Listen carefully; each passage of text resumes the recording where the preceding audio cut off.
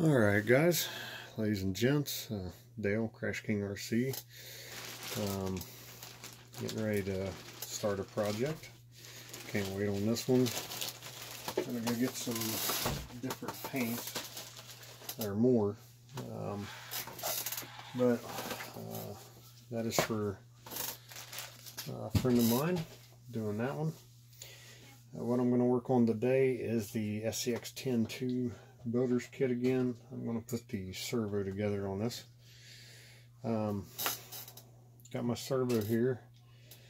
Now I know why uh, that they tell you to put the servo in before you put the front rear end in. Because the servo horn you cannot get to. I did set this in there yesterday and then went to put the horn on and realized there was no way. So we're going to put the servo horn on. I did go away from their plastic horn. I like the metal horns. Uh, I have had a couple horns strip out on me on out on the field.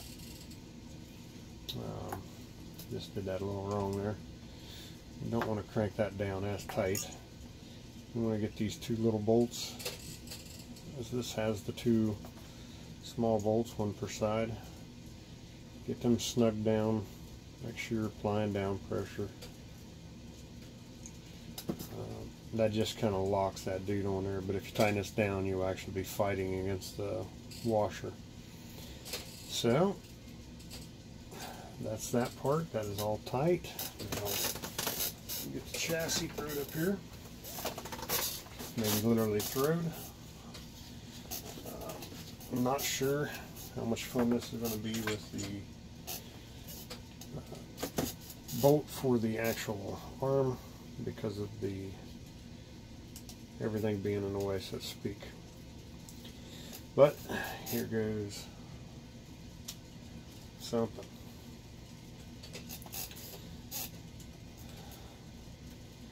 I, I do got this uh, a massive massive uh,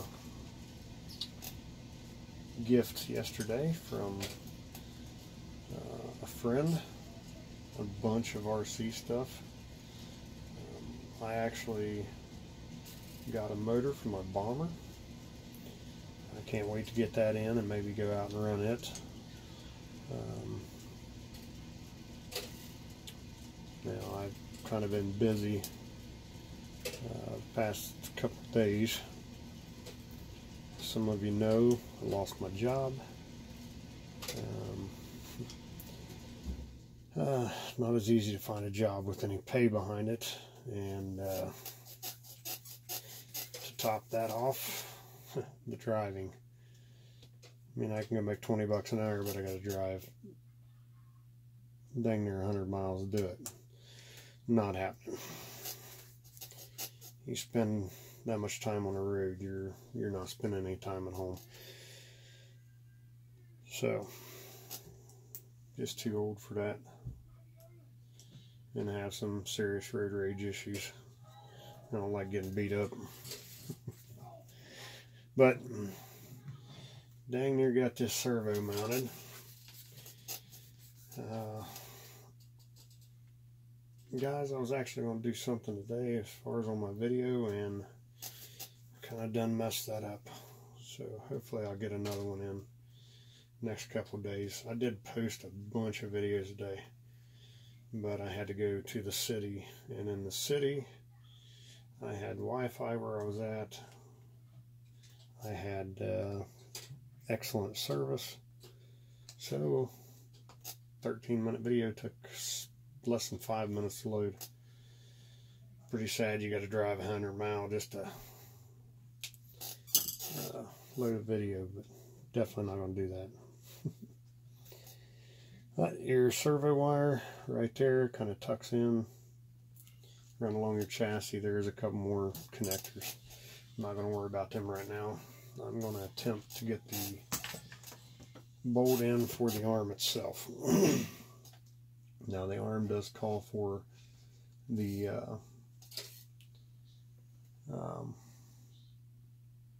yeah nut on it, but the servos that I use are actually um,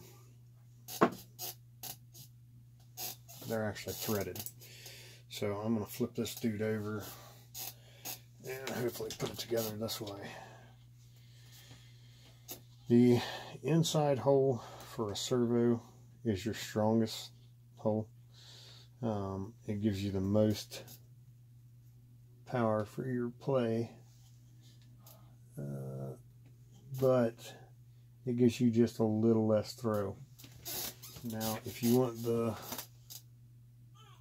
longer throw, you have to go to the top servo hole. And I did not bring my flashlight in. I can't see how much that nut's sticking through, so I'm, or uh, bolt. Alright, it looks like it's still clear. Well, and hits the